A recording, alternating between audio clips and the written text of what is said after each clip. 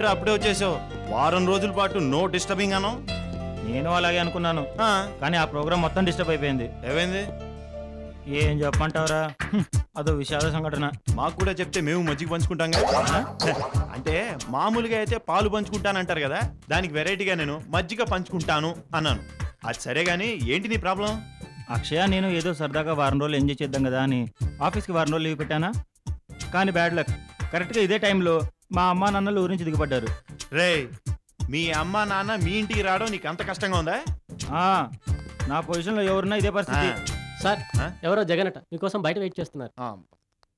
ఉమ్, రే మీ ఓడికి ఉద్యోగం ఇప్పించకపోతే నా ఉద్యోగం చేసేటట్టున్నాడ్రా. మరి త్వరగా ఉద్యోగం ఇప్పించేసి కదరా. చా అంత త్వరగా ఉద్యోగం ఇప్పించడానికి మీ ఓడని ఐఏఎస్ చదివాడా? రేయ్ ఐఏఎస్ చదివితే నీ దగ్గరికి ఎందుకు వస్తాడ్రా? హ్మ్. మరి ఒప్పుకుందర? తప్పుతుందా? పైపెచ్చు మీ తోడలుడాయే?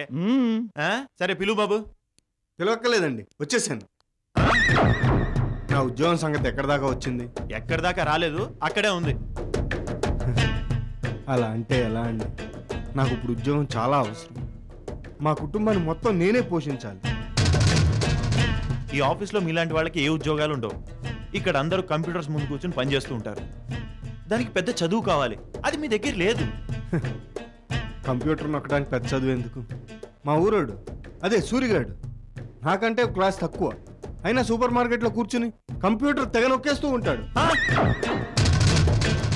అందుకే నాకు మీ ఆఫీస్లో ఉద్యోగం ఇప్పిస్తే నేను కూడా మీతో పాటు కంప్యూటర్ నొక్కడం నేర్చుకుంటాను.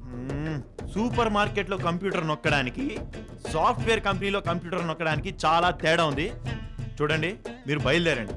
మీ రేంజ్ ఉద్యోగం వచ్చాక నేనే కాల్ చేస్తాను. సరేనా? ప్లీజ్ చూడండి జైన్ గారు మీరు మాటి మాటికి ఇలా ఆఫీస్కి రావడం నాకు చాలా ఇబ్బందిగా ఉంది. మీకు ఉద్యోగం దొరకగానే అనిలే మీకు ఇన్ఫార్మ్ చేస్తాడు. సరేనా? అలాగేనండి. కానీ నాకు ఉద్యోగం చాలా ముఖ్యం. మీ రేంజ్ ఉద్యోగం లేకపోయినా పర్లేదు. కనీసం ప్యూన్ ఉద్యోగం అయినా.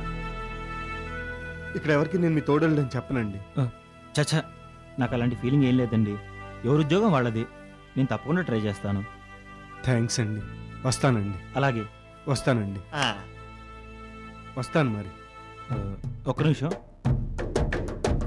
ఈ డబ్బు ఖర్చులకి అది వద్దులేండి. అంటే లెక్క పెట్టొద్దండి. ఆ, వస్తానండి. నా ఉద్యోగం గురించి ఆ, ఆలోచించాను చూస్తాను. ఉంటానండి. ఆ, వెళ్ళండి. అరే శ్రీకర్. మన ఆఫీస్లో ప్యూన్ పోస్ట్ అవుట్ ఖాళీగా ఉందని విన్నాను. పోనీ జగన్కి దాని గురించి ట్రై చేస్తే? అలాగే ఏదో ఒకటి చేయరా బాబు. అబ్బో.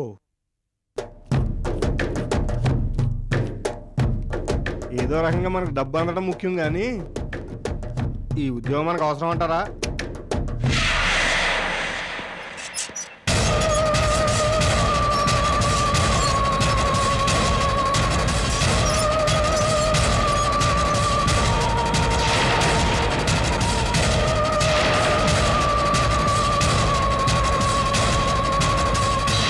ఇప్పుడు నన్ను అక్షయ్ చూస్తే ఎలా రియాక్ట్ అవుతుందో?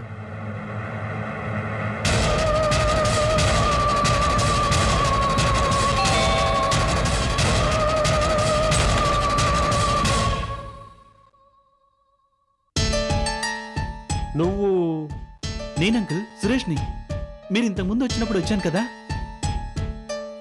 అదే అక్షయ్ ఫ్రెండ్ని గుర్తొచ్చింది. లోపలికి రా. ఎవరండి? బాగున్నారా ఆంటీ ఆ బాగున్నాను బాబు. అమ్మయ్యా మీరు గుర్తుపట్టారనమాట ఆంటీ ఒకసారి అంకుల్ పక్కన నిలబడండి. ఎందుకు బాబు? అబ్బా రండి చెప్తాను. ఆ, ఏంటి సురేష్ ఇది? లే. ఆహా, ఆశీర్వదించండి అంకుల్. ఆ, దీర్ఘాయుష్మాన్ భవ. థ్యాంక్స్ అండి. నాకు చిన్నప్పటి నుంచి పెద్దలంటే గౌరవం. పైగా మిమ్మల్ని చూస్తుంటే మా అమ్మా నాన్న గుర్తుకొచ్చారు.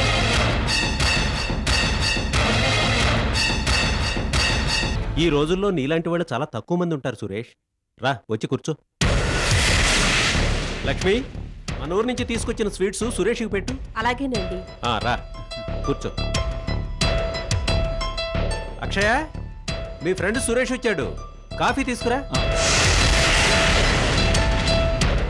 అలాగే నాకు కూడా. ఆ తెస్తున్నాను మావయ్య. ఆ, అయ్యో ఇప్పుడు స్వీట్స్ కాఫీ ఎందుకండి? ఇడియట్. అన్ని దొంగ నాటకాలే.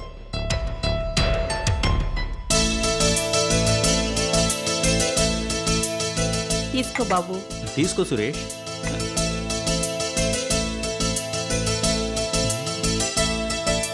అబ్బా చాలా బాగున్నాయి ఆంటీ. మీరు చేశారా? అవును బాబు. అది అందుకే ఇంత టేస్ట్ ఉన్నాయి. ఇక్కడ షాపులో కొన్న స్వీట్స్కి ఇంత టేస్ట్ రాదా ఆంటీ?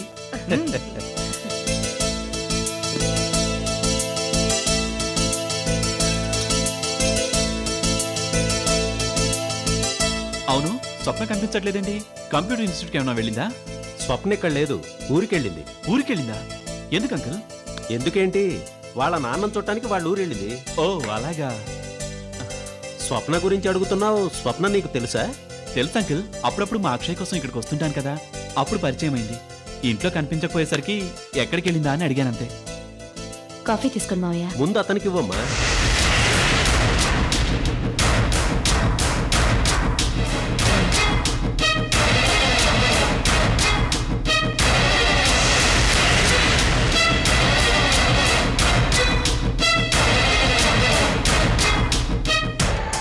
కాఫీలో కూడా ఉప్పు కలపలేదు కదా?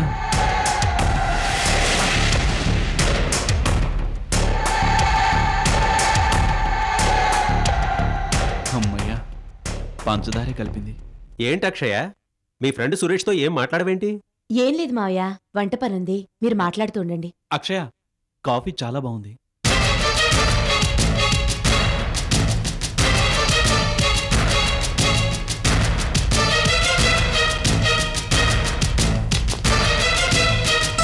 ఇప్పుడు నువ్వేం చేస్తున్నావు సురేష్?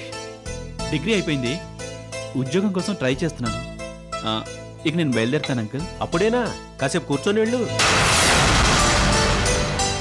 నాకు చిన్న పనుంది. వస్తాను అంకుల్. అలాగే. మేము ఇక్కడ కొన్నాళ్ళు ఉంటాం. అప్పుడప్పుడు వచ్చి వెళ్తూ ఉండు. అలాగే అంకుల్. Thanks aunty. చాలా రోజుల తర్వాత మంచి స్వీట్స్ పెట్టారు. వస్తానండి. అలాగే బాబు. అక్షయ? అక్షయ? అక్షయ? సురేష్ వెళ్తాట. వస్తున్నాను మావయ్య. నేను బయలుదేరుతాను అక్షయ. అలాగే పద. వస్తాను. సురేష్ని పంపించేసి వస్తాను మావయ్య. ఆ, సరే.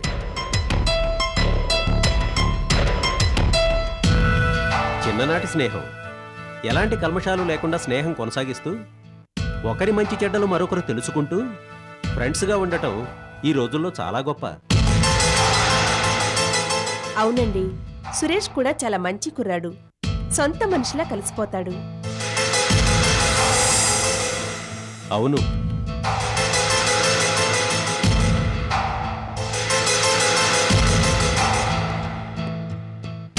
సురేష్? ఏంటి అక్షయ? చూడు సురేష్ నిన్ను మా ఇంటికి రావద్దని చాలాసార్లు చెప్పాను. అయినా ఏదో వంకతో వస్తూనే ఉన్నావు. ఇప్పుడు ఇంట్లో అత్తయ్య మావయ్య ఉన్నారని నిన్నేమీ అనలేకపోయాను. దాన్ని అలసుగా తీసుకుని మళ్ళీ మళ్ళీ రావాలని ప్రయత్నించుకో. నన్ను అర్థం చేసుకో అక్షయ. నేనే కాదు నిన్నెవరూ అర్థం చేసుకోలేరు. నువ్వు నాతో ఫ్రెండ్షిప్ చేస్తూ నన్ను కామంగా చూస్తున్నావని నేను అర్థం చేసుకోలేకపోయాను. నువ్వు మా ఇంటికి నన్ను లొంగ తీసుకోవడానికి వస్తున్నావని నా భర్త అర్థం చేసుకోలేకపోతున్నాడు. ఇప్పుడు మా అత్తయ్య మావయ్య గారు కూడా నీవి దొంగ నాటకాలని అర్థం చేసుకోలేకపోతున్నారు. ఈ కాపక్షయ నేనే కాదు ఈ లోకంలో నూటికి తొంభై తొమ్మిది మంది నటిస్తూనే బతుకుతున్నారు. మనసులో ఉన్నది ధైర్యంగా బయటికి ఎంతమంది చెప్తున్నారు? ఎవరు చెప్పరు. అందుకే ఎవరికి ఎవరు అర్థం కాదు నీ ఆర్గ్యుమెంట్స్ నాకు అనవసరం. నువ్వు నా విషయంలో తప్పు చేశావు పెళ్ళైన అమ్మాయితో నీలా ఎవరు ప్రవర్తించరు. అలా చేస్తే క్షమించకూడదు. అందుకేగా నేను క్షమించమని అడుగుదామంటే నువ్వు నాకు అవకాశం ఇవ్వట్లేదు. నిన్ను క్షమించగలిగాను గనకే ఇంకా నువ్వు ఇలా ఉన్నావు. అవును నువ్వు చిన్నప్పటి నుంచి నా ఫ్రెండ్వి కొన్నిసార్లు నాకు సాయం కూడా చేశావు ఆ కృతజ్ఞతా భావంతో నువ్వు చేసిన వెధ పని క్షమించి మా ఆయనకి చెప్పలేదు. ఆయనకి తెలిస్తే నిన్ను చంపేసుండేవారు లేకపోతే జైల్లోనే పెట్టించుండేవారు. జరిగింది మర్చిపోదాం. ఇక మీదట నువ్వు మా ఇంటికి రావడానికి ట్రై చేసి నన్నేమన్నా చేయాలని చూసావో? ఆయనకి చెప్తే ఏం జరుగుతుందో చెప్పానుగా? చచ్చా అంత దూరం ఎందుకులే? నువ్వు నన్ను క్షమించినట్లు అర్థమైంది. నువ్వంటే ఇష్టంతో అలా ప్రవర్తించాను కానీ నిన్ను బాధ పెట్టానని కాదక్షయ పదిహేను సంవత్సరాల ఫ్రెండ్షిప్. ఒక్క తప్పుతో దూరం చేసుకోకూడదు. ఆలోచించు. ప్లీజ్ ఒక్కసారి ఆలోచించు. ప్రతి మనిషి ఏదో ఒక తప్పు చేస్తాడు. దాన్ని క్షమించడమే గొప్ప గుణం. అది నీకుందని నేను అనుకుంటున్నాను. ఇక మీదట పాత స్నేహితుడిగా నిన్ను చూడాలనిపిస్తే దూరం నుండి చూసి వెళ్ళిపోతాను. వస్తాను అక్షయ. సురేష్? ఏంటి అక్షయ? నువ్వు ఇందాక ఇంట్లో స్వప్న వివరాలు ఎందుకు అడిగావు? కనిపించలేదని ఊరికే అడిగాను. అంతేనా? అంతే. నాతో ప్రవర్తించినట్టు స్వప్నతో కూడా ప్రవర్తించకు. తను పెళ్ళి కావాల్సిన పిల్ల. చాలా మంచిది. పాపం అమాయకురాలు. స్వప్న పట్ల తప్పుగా ప్రవర్తిస్తే మర్యాదగా ఉండదు. జాగ్రత్త. అందరూ ఆడవాళ్ళు నాలా ఓర్పుగా ఉండరు. స్వప్న వెనుక మేము అందరం ఉన్నామని మర్చిపోకు. ఇక వెళ్ళు. ఏంటి అక్షయ అలా మాట్లాడుతున్నావు? నేను నీకు ఎలా కనిపిస్తున్నాను? నువ్వు నన్ను ఎప్పటికీ అర్థం చేసుకుంటావో ఏమో. సరే వస్తాను.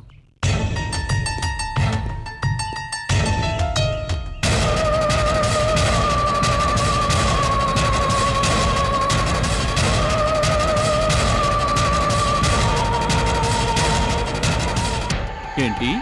స్వప్న చాలా మంచిదా? పాపం అమాయకురాలా?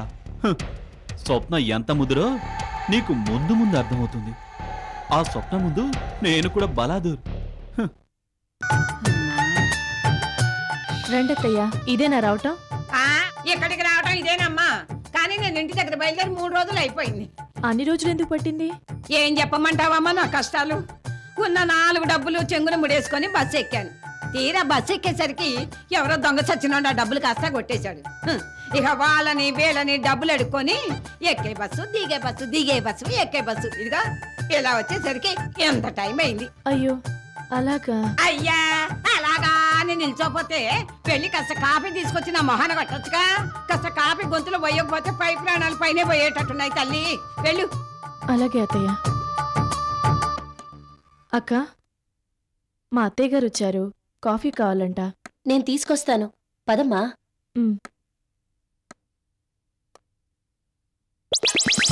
అలా కూర్చోండి. అమ్మా కూర్చుంటానమ్మా. ప్రయాణం చేసి బాగా అలసిపోయి ఉంటారు. అమ్మా.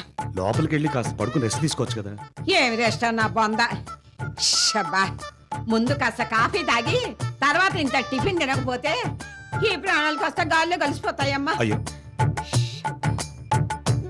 బాగున్నారా అత్తయ్య? ఆ, ఏం బాగోలే అమ్మా. ఉన్న ఒక్కగానొక్క కొడుకు నన్ను ఒంటరిగా వదిలేసి ఇక్కడికి వచ్చి తిష్ట వేశాడు. ఇక నేనేం బాగుంటాను? అది ఇలా ఇచ్చి నువ్వు వెళ్ళి కాస్త టిఫిన్ చేసి పట్టరమ్మా. పో. బాగుంది. పర్వాలేదు బానే ఉంది.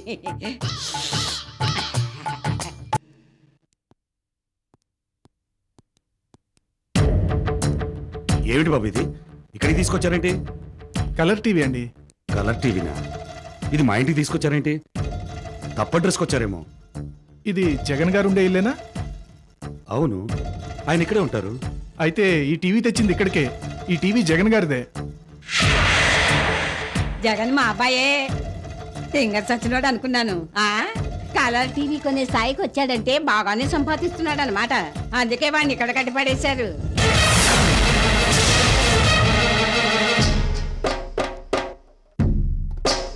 ఏంటి? ఈ హడావిడేంటి? అమ్మా నువ్వెప్పుడు వచ్చావు వచ్చి ఒక గంట అయింది కానీ ఆ, నువ్వు చాలా ఎదిగిపోయావురా.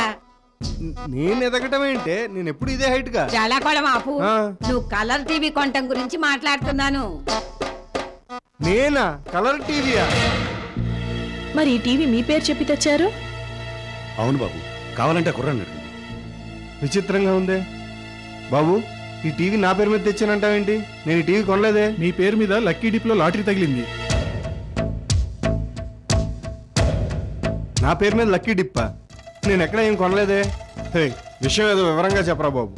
పోయిన నెల బార్లో ఎక్కువగా తాగిన వాళ్ళ పేర్ల మీద లక్కీ డ్రా తీశారు. మీకు ఈ టీవీ తగిలింది. వస్తానండి. మీరు మందు మానేశానని చెప్పారు? ఏంటి అందరూ అలా చూస్తున్నారు? ఇది పోయిన నెల తాగిన మందుకు వచ్చింది. ఆ తర్వాత మందు తాగుతూ మానేసా ఇప్పుడు మందు సిగరెట్ రెండు ముట్టుకోవట్లేదు. తాగితే తప్పేమిట్రా? నువ్వు తాగిన దానికి పది రెట్లు ఖరీదైన టీవీ వచ్చింది కదా. అయినా దేనికైనా అదృష్టం ఉండాల. నువ్వు చిన్నప్పటి నుంచి బోల్ డబ్బు ఖర్చు పెట్టి తాగావు. ఎప్పుడైనా ఒక రేడియో అయినా వచ్చిందా? ఇప్పుడు నీ పెళ్ళాం అదృష్టం. ఇలాంటి అదృష్టం నాకు అవసరం లేదు. ఇలాంటి టీవీ ఇంట్లో ఉంటే దీన్ని చూసినప్పుడల్లా మీరు తాగిన మందుకు వచ్చిన గిఫ్ట్ అని అనుక్షణం గుర్తుకొచ్చి అసహ్యంగా ఉంటుంది. అందుకే దీన్ని ఇంట్లో ఉంచొద్దు. చాలే ఊరుకో. బంగారం లాంటి టీవీ ఇంటికి వస్తే అలా మాట్లాడతావు. ఏమిటి? అందరూ అలా చూస్తూ నిలబడ్డారు. చెప్పండి. ఉమా జరిగింది మర్చిపో. ఇప్పటి నుంచి ఎలా ఉంటానో చూడు. ఉమా ఇప్పటికి అల్లుడు గారు చెప్పిన మాట విని ఈ గొడవని ఇంతటితో వదిలేసి అవునమ్మా. అల్లుడి గారు చేసిన ఆ తప్పుకి ఆ టీవీ రావడం తప్పు కాదు కదా.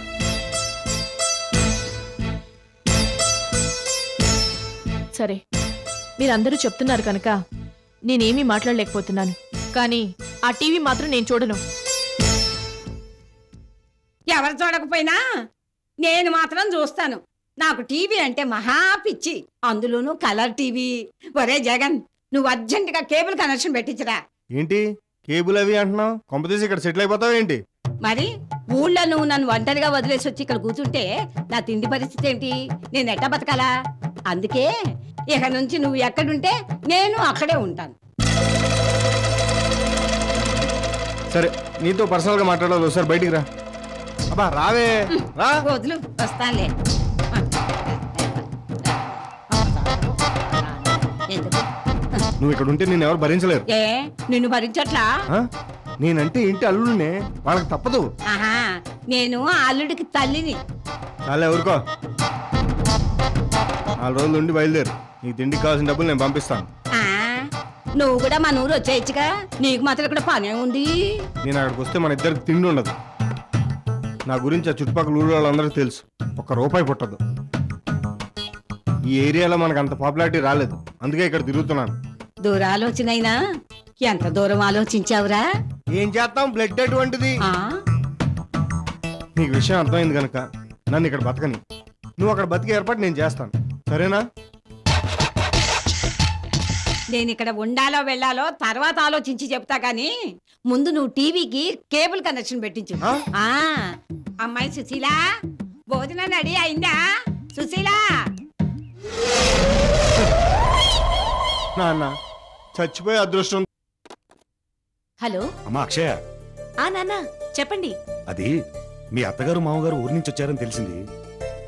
అదేనమ్మా శ్రీకర్ బాబు ఫోన్ చేసి చెప్పాడు. రెండు రోజుల్లో నేను మీ అమ్మ వీలు చూసుకుని వస్తాం. ఈ విషయం వాళ్ళకి చెప్పమ్మా. ఆ అలాగే నాన్న. ఉంటాను.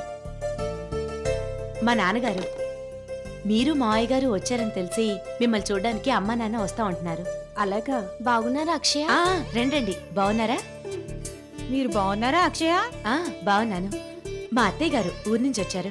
అలాగా? అత్తయ్య వీళ్ళు మన వీధి చివరిలో ఉంటారు. అలాగా? కూర్చోండి. లేదండి వెళ్ళాలి. మా కోడలు శ్రీమంతం చేస్తున్నాం పిలవడానికి వచ్చాము. అలాగా?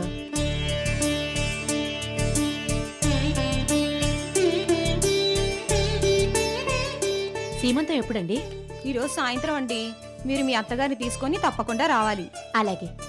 మీ అబ్బాయికి పెళ్ళై ఎన్ని రోజులైంది? తొమ్మిది నెలలైంది. అదృష్టవంతులు.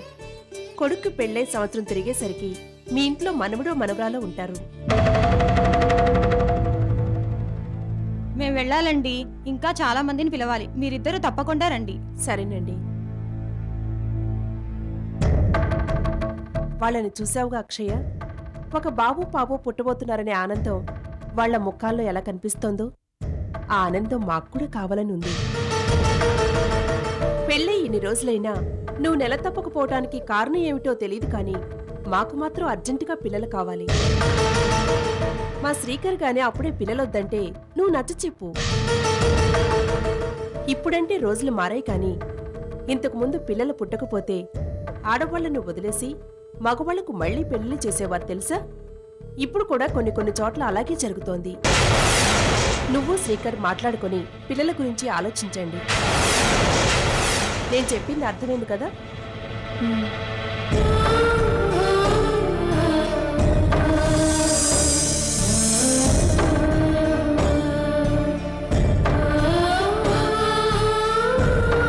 పిల్లలు పుట్టని విషయంలో మగవాడి తప్పైతే పర్వాలేదు కానీ అదే ఆడదాని తప్పైతే వదిలేస్తారా? ఇందులో కూడా ఆడపిల్లకి అన్యాయమా?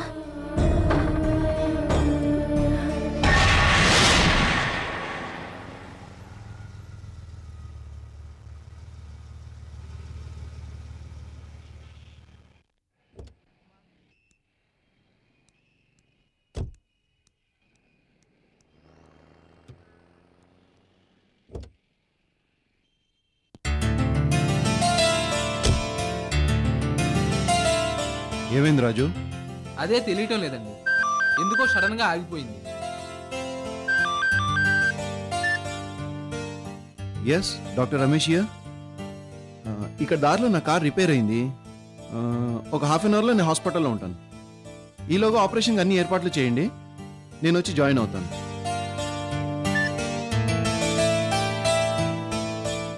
ఇంకా ఎంతసేపు అవుతుంది? చెప్పలేము సార్. అలాగా? నేను అర్జెంటుగా హాస్పిటల్కి వెళ్ళాలి. ఏదైనా ఆటో వస్తుందేమో చూడు.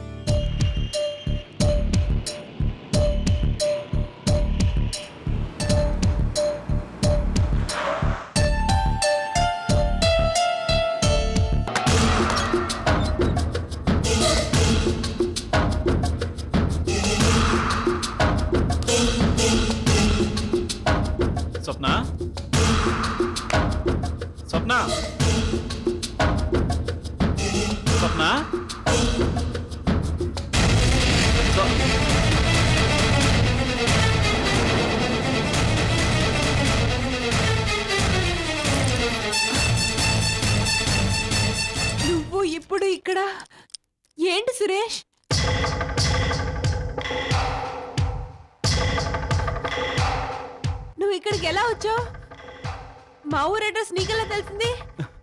ఏం చేస్తాం? నీలాంటి దాన్ని నమ్మి రంగంలోకి దిగాక నిన్ను వెతుక్కుంటూ రావాలి కదా. అయినా నీ అడ్రస్ తెలియకపోవడానికి నువ్వేమన్నా చంద్రమండలంలో ఉన్నావా? అంటే ఈ భూమి మీద నేను ఎక్కడున్నా నన్ను వెతికి పట్టుకుంటావా? అంతే కదా అర్థం. నా అవసరం అలాంటిది. అయినా ఇప్పుడు సమస్య. నీ అడ్రస్ నాకు ఎలా తెలిసిందన్నది కాదు.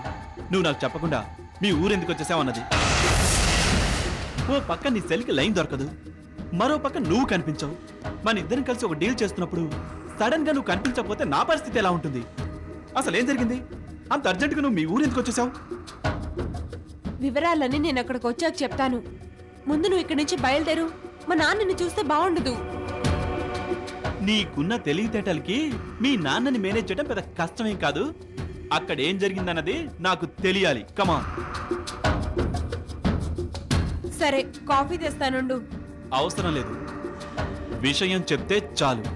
అక్కడంత మ్యాటర్ పెట్టుకొని ఇక్కడింత కూల్గా కూర్చున్నావంటే సంథింగ్ రాంగ్. శ్రీకర్ ఇంట్లో పెద్ద బాంబ్ పేలుంటుంది. Speak out. అవును. నువ్వు అన్నట్టు అక్కడ చాలా పెద్ద బాంబు పేలింది. అదేంటో చెప్తాను విను.